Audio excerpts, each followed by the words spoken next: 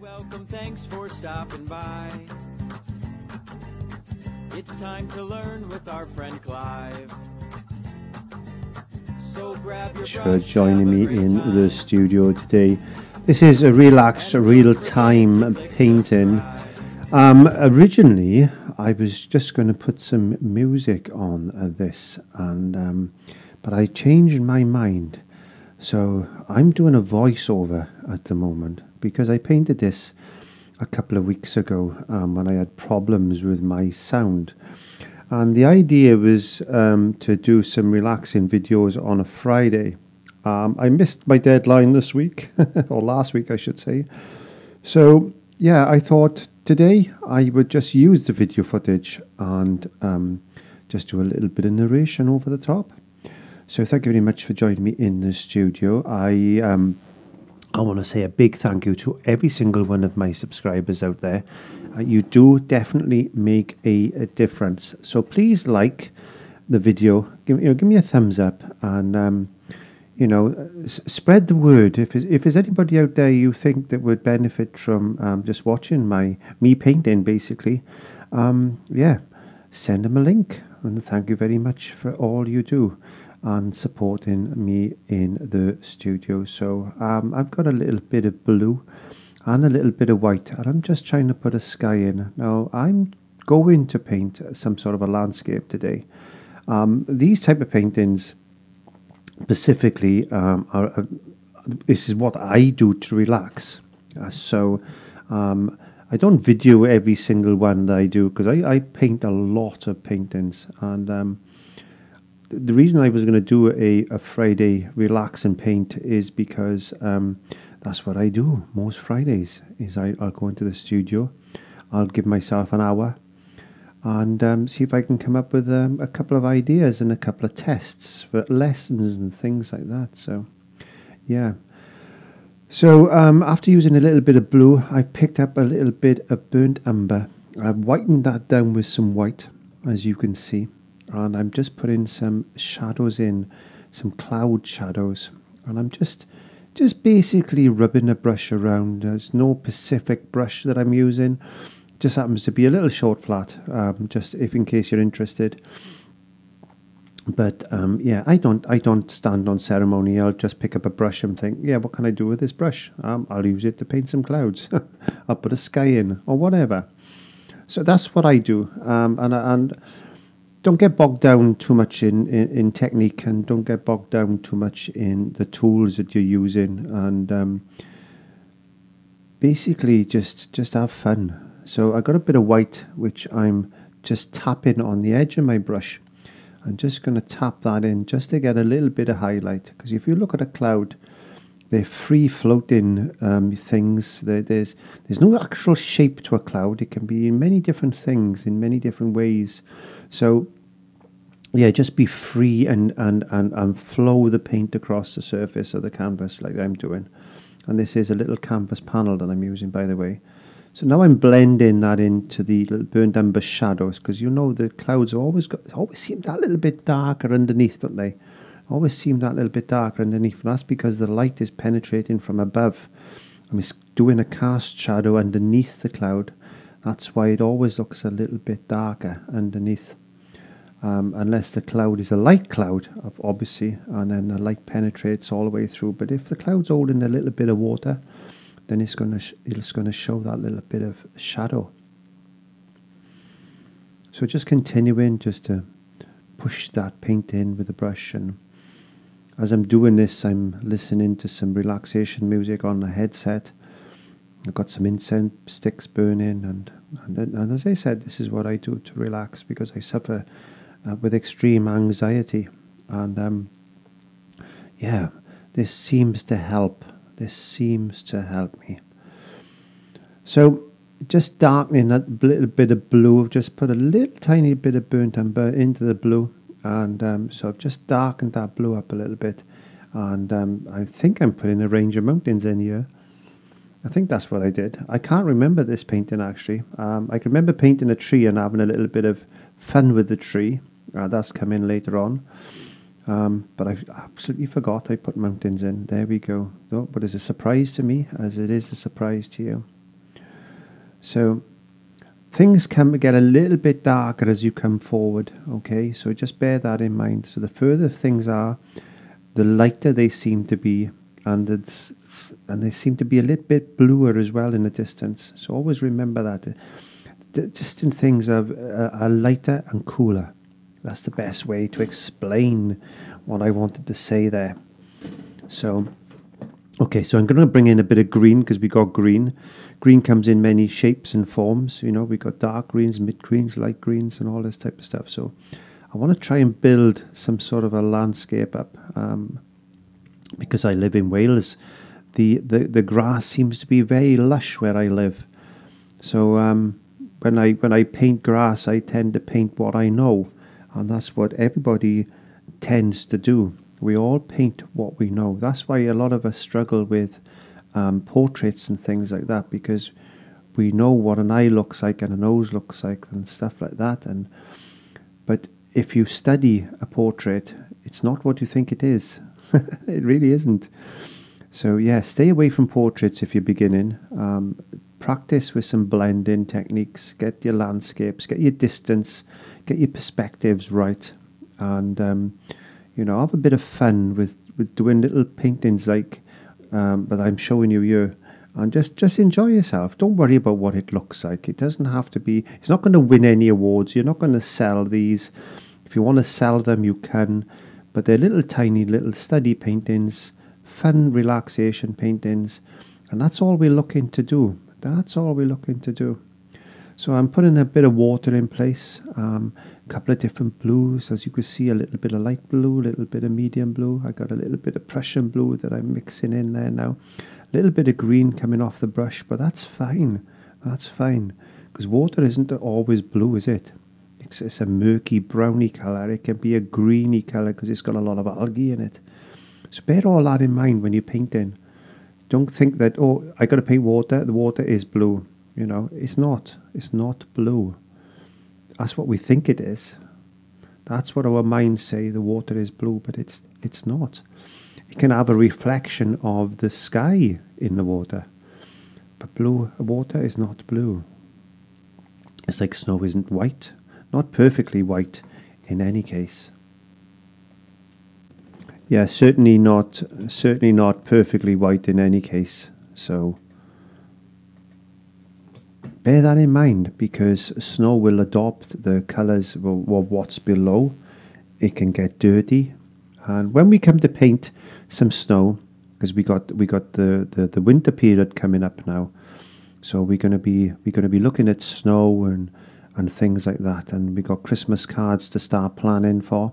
So if you've got some Christmas cards and you want to do some paintings, you want to take some photographs of your paintings that you've painted, and then you can print them out, and you can buy the cards that's got the the holes cut out of them, so you can stick your your uh, picture of your painting to that. And um, if I remember, I'll pick up some. and we'll do it. We'll do a lesson on that to show you. Um, if not, just give some little paintings as some presents. Uh, that is a wonderful thing when you've actually done something yourself and you've given it as a gift. I think that's a wonderful way to give a gift. So you can see it. I'm putting a little bit of green into this water now with a bit of that that cast colour, as I call it, because it's got to reflect. It's going to reflect things around it, so that you can see that water's now starting to get that watery look, because it's not just blue. It's got a, mul- a multitude of different colours and things flowing through it. There's there's there's reeds and all this stuff under the water. There's there's algae. You know, you've got to think of all that type of stuff. So, getting that little tiny um, short flat with a little bit of green on, and I'm just going to tap in some some distant trees, having a bit of fun, and why not? So, just having a bit of fun.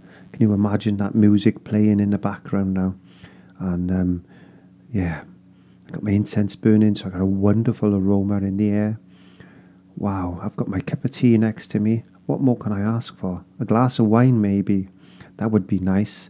Yes, maybe maybe I should have a glass of wine. But if you don't drink, then a cup of tea or a cup of coffee is just as good. It really is. Okay, so those trees have already got that little bit of colour in them, haven't they? They got that little bit of dark, a little bit of uh, um, a mid-tone, a little bit of light. And again, I'm going to put some more trees in now. Just tapping that brush very, very lightly, just to get in some shapes, just get in some shapes of what I think some trees will look like on little bushes, all these little areas there where all these little rabbits and things can live. We got squirrels, we got birds singing in the trees, and I haven't got any idea of a specific tree shape in my mind. I'm just tapping the brush and seeing what's going to come out of the brush. That's what I say. Let's have a look what comes out of the brush. You might be surprised by what secrets that brush holds, and it, it's got a lot of secrets, trust me. Sometimes a squiggly mark is all you need to make a shape to, to tell a story, yeah. Okay, so tapping in a little bit of shadow colour here and there now, just lifting that up. Just lifting a little bit. You can see those distant mountains there. They faded in the mist. They're looking misty already as the paint is drying. It started to started to dull back. Acrylics dry very dull and matte. Remember that. So to get the luster out of an acrylic, we need to put a coat of varnish on that. But don't forget, the acrylics take up to three weeks to completely cure. Up to three weeks before all the water is evaporated completely out of that paint. So yeah, I put a bit of white by there on my brush. By mistake. Look, I thought to myself, oh, it doesn't matter, just brush it in. There we go. Let's have a bit of light there now. so we might have a little bit of sunlight coming through behind one of them clouds. Just, just darting through the sky and just hits our grass, and all of a sudden you've got this wonderful light streak coming across. There we are. So I'm going to play around now with a bit of dark colour just to try and counteract that little bit of white that I put in place. There we go. Wow. It's fantastic to be able to paint like this. And um, and I and I love having company in the studio, so thank you very much for joining me. And um, allowing me into your home, allowing me into your world. It means so much to me that so many people watch my videos and follow along and give me comments and feedback and it makes me very very happy and humble in fact because I'm not the best artist in the world. I just love to paint to relax. And that's that's how it started with me was the ability just to have a bit of fun. Because we, we stopped playing when we were children, didn't we? All them years ago when we were kids, we stopped playing. And I think having, having a laugh, having some fun, and if you can do this as with family as well, I tell you what I was doing on a weekend. I was actually doing something that I hadn't done for such a long time. And I was baking a cake. My little grandson Daniel had a school project where he had to bake a cake. So it was Bampy Clive. Bampy Clive would help. But Bampy Clive haven't cooked much for a long time. Although I do like cooking, I haven't been in the kitchen for a long, long time. But I, I did, I, I got there. I, I baked a cake. so just putting this bit of a tree trunk in.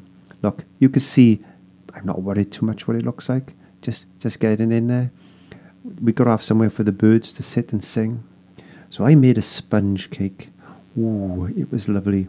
We had we had um, a buttercream filling with some raspberry jam, and on the top of that, then we put some more buttercream on top, and it we swirled it around with the spoon, and and we put this put a little bit of dusting on it, and oh, I tell you what, when it was finished, it was so nice, and my grandson was so so happy because he made that cake with my with my tuition basically.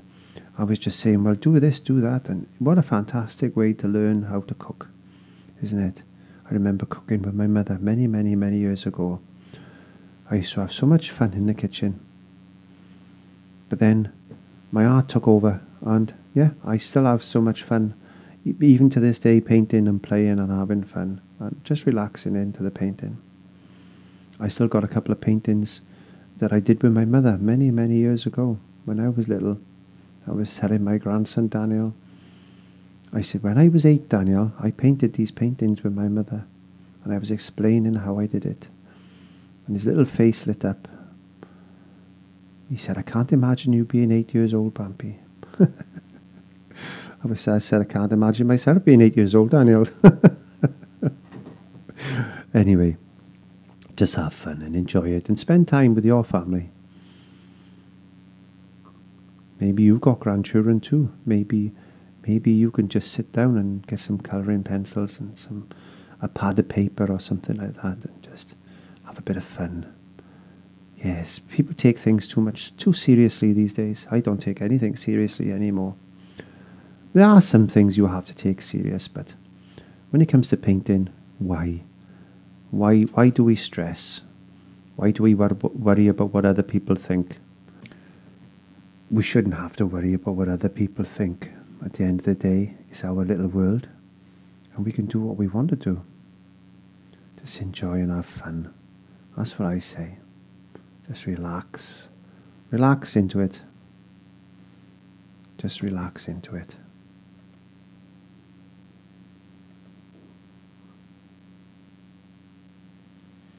Really nice just to pick up a. This is an old brush that I got in my hand now, a very old brush.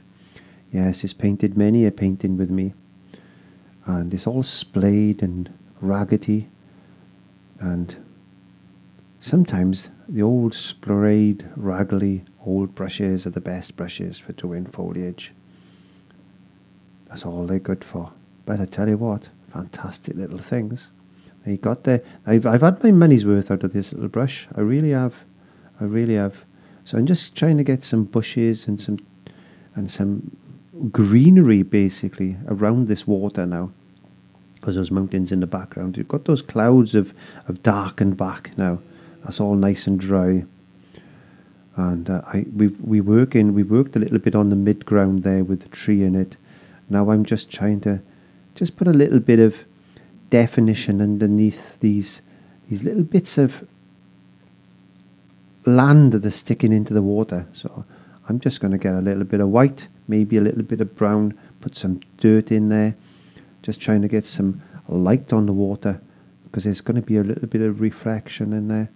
We just want it to look as if there's a little bit of water there. There we go, just getting a, a few little ripply, foamy marks, whatever you want to call it. There could be a little bit of movement in that water. There could be some rocks or something there. And there is. Look, magically happened that there just happens to be a few rocks there. So the water is moving and it's just creating that little bit of foam around those rocks. And um, that's all we want, just to show that, yeah, there, there is movement there. That's where all little tiny frogs and tadpoles live. The the frogs sit on the rocks sometimes and they have a little bask in the sun. And the little tadpoles then are just swimming around underwater. And mummy, mummy frog is just watching his her little tadpoles and just just putting a little bit of shadow now, just under that bank, just to give that life basically, just to give that life a little bit of here, a little bit there. Maybe that water's just coming around. Again, a little bit of water. There we go. Getting some of those rocks in place there like that. Wow. Just put a little bit more water movement. There we go in that river, creek, what what you want what do you want to call it? Whatever. Yes. Just make it up as you go along. And these paintings are all made up.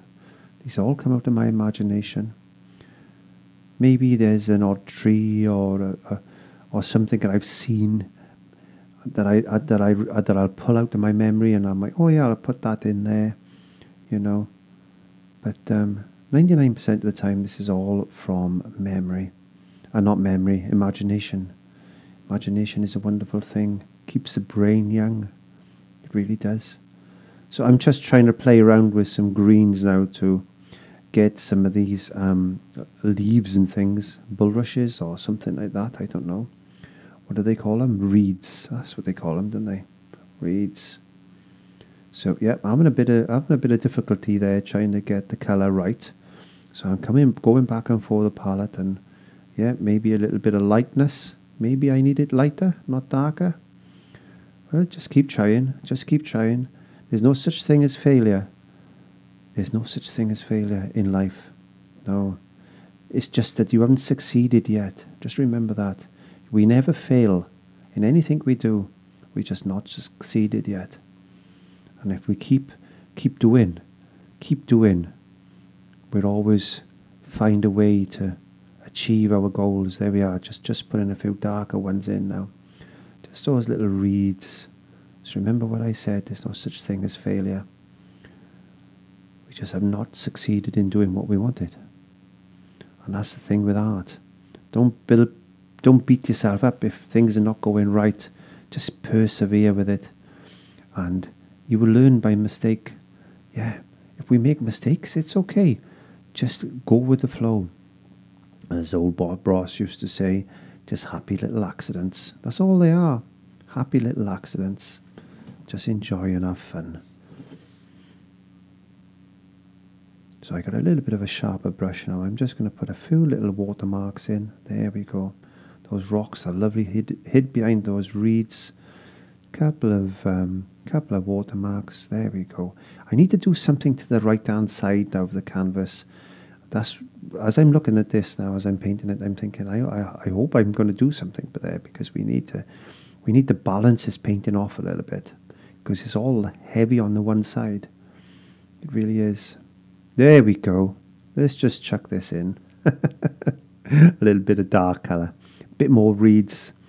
I got the, I got this thing in my mind saying, yeah, we we need to just chuck a little bit of dark in there, just to to bring that towards us and throw the background away. So all of a sudden, with a little bit of dark, we've created depth. Isn't that fantastic how that can happen when you're painting? You wouldn't think putting a little bit of dark colour in would give you the depth that you're looking for. And then a little bit of light in front of that dark is going to create that illusion that it's just a massive, reedy, reedy, reedy, reedies, reeds, reeds, loads of reeds.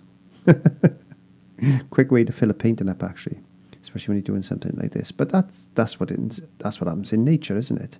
We'll see parts of the riverbank like that where it's just a mass of brambles and reeds. There's little butterflies flying around. There's ladybirds. There's um, there's ants. Oh, what a fantastic wildlife! When you think about it, we're creating a world for our little creatures that that exist in our world. That's what we're doing. Just creating a world of illusion. A world of illusion.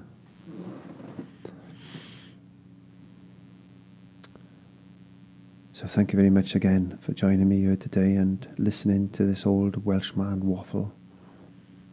But I tell you what, I've enjoyed watching this painting today and I've enjoyed talking to you because I don't get the opportunity to to talk a lot really um, outside of the painting because when I'm actually doing a painting and I'm talking on camera, I'm concentrating so much on what I'm doing and I talk a lot about the painting, but I don't have a conversation with my friends, and that's the most important thing I think. Is doing something like this, I'm able to talk to my friends, and you're all my friends. Don't forget that. You're all my friends. That's why I keep doing what I'm doing. Is because I know a lot of you listen to me, and a lot of you just love to watch me paint. Some of you even will paint along with me and I find that absolutely fantastic.